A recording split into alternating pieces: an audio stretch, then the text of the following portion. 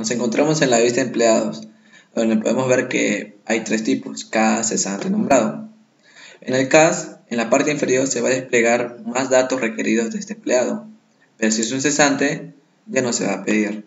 Pero si es un nombrado, de igual manera como un CAS, sí se va a requerir estos datos. Ingresamos un CAS. Como nombre paterno, ingresamos Rojas, apellido materno va a ser Marín, nombre José, número de DNI, RUC, teléfono celular, correo, régimen pensionario si es una AFP, acá desplegamos y escogemos el nombre de la AFP, fecha de afiliación, qué día se afilió a esa AFP, cuando vemos un icono de calendario se va a ingresar fecha, ya sea manual o seleccionando aquí automáticamente. El sexo masculino, estado civil soltero, fecha de nacimiento, país de nacimiento, por defecto va a ser Perú, pero si es de otro país podemos seleccionarlo. Departamento, donde nació. Aquí tenemos la opción que solamente escribiendo automáticamente va a aparecer el lugar. Escogemos que nació en Mala.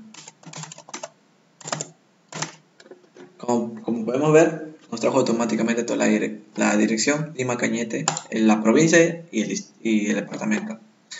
Acá escogemos el domicilio, eh, la dirección, la referencia y aquí en lugar de domicilio es donde él se ubica actualmente, porque él puede haber nacido en Mala, pero actualmente vive en la parte costa, o sierra o selva del Perú. Vamos a poner que vive actualmente en Quilmaná.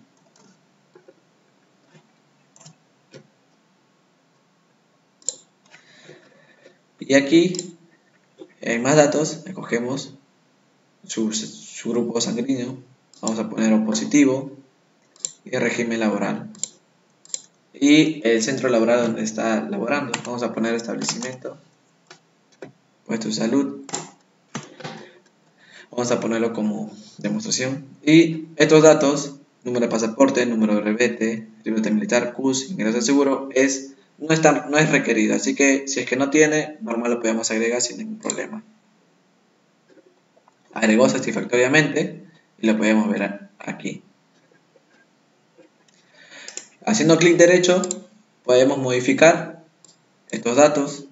Si lo queremos modificar, si es que hemos ingresado, nos hemos equivocado a la hora de registrar sus datos. O también lo podemos eliminar si queremos eliminar este registro. Ahora en la parte de aquí, en la parte derecha donde dice reportes, podemos descargar dos reportes de este empleado. Damos clic y abrimos.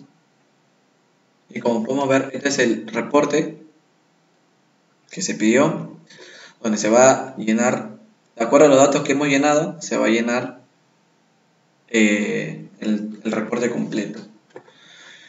Tenemos este primer reporte, que es la parte, la parte 1, y el segundo reporte.